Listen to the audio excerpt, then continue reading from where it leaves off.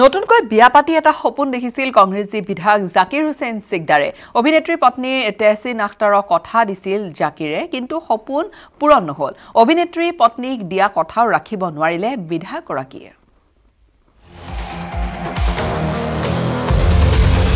নতুন নতুন নতুনকৈ বিয়া পাতিলোঁ কিছুদিন আগতে। নিজৰ ঘৈণীয়েকক কৈছিলোঁ বিদেশত ফুৰিবলৈ নাযাওঁ ইয়াতে টুইন টাৱাৰ বনাব চৰকাৰে। সৰ্বানন্দ সোণোৱাল ডাঙৰীয়াই টুইন টাৱাৰ বনাব।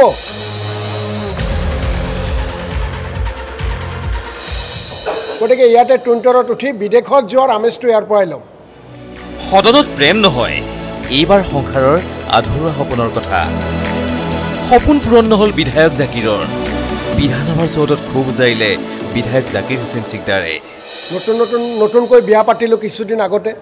বিগত বৰ্ষৰ অক্টোবৰ মাহত অভিনেত্ৰী তেহচিন আখতাৰৰ সৈতে বিবাহপাশত আবদ্ধ হৈছিল জাকিৰ হুছেইন চিকদাৰ। নতুনকৈ বিয়া পাতি বিধায়ক জাকিৰে অভিনেত্ৰী পত্নী তেহচিনক গুৱাহাটীৰ টুইন টাৱাৰত উঠাম বুলি কথা দিছিল। পিছে পত্নীক দিয়া কথা ৰাখিব নোৱাৰিলে বিধায়ক জাকিৰ হুছেইন চিকদাৰে। আৰু সেইবাবেই ক্ষোভ বিধায়ক চিকদাৰৰ। গুৱাহাটীত প্ৰস্তাৱিত টুইন টাৱাৰ নিৰ্মাণ কাৰ্য আৰম্ভ হ'লনে? যদি হোৱা নাই কেতিয়া আৰম্ভ হ'ব?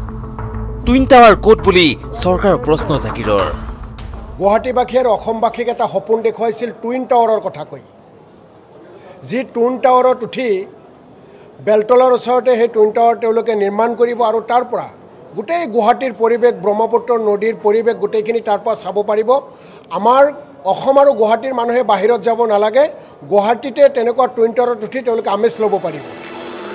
গুৱাহাটীৰ বেলতলাত অত্যাধুনিক তথা বিশাল টুইন টাৱাৰ নিৰ্মাণ কৰিব বুলি ঘোষণা কৰিছিল ৰাজ্য চৰকাৰে। বেলতলাৰ এই স্থানত টুইন টাৱাৰৰ বাবে এইদৰে চাইনবোৰ্ড মাৰিছিল চৰকাৰে। ইয়াতেই হ'ব হেনো টুইন টাৱাৰ কিন্তু নহ'ল।